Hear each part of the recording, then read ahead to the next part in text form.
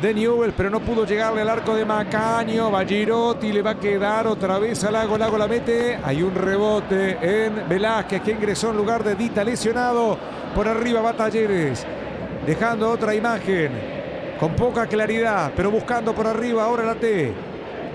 Últimos dos minutos y medio. La mete Lago. Cabezazo que no. Y estás. El palo lo salva otra vez a Newell's. El palo otra vez. Benito, palo, palo, palo. Bonito arriba de cabeza. ¡Gol!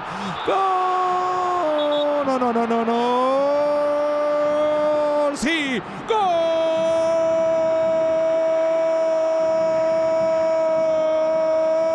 De Talleres. De Talleres, señoras y señores. Villagra fue a buscar, iban varios en la arremetida. Descuenta, podía pasar de todo. Quedan dos minutos, no había cobrado un penal Herrera. Ahí está Girotti. El partido está 1-2 en Córdoba. Sobre el final llegó Talleres.